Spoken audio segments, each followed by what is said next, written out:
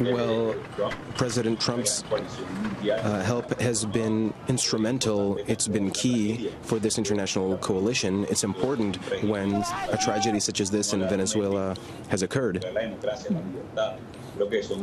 I think democracy and freedom are fundamental causes. And the ELN, for instance, the liberation movement in Venezuela, we see it's not going well.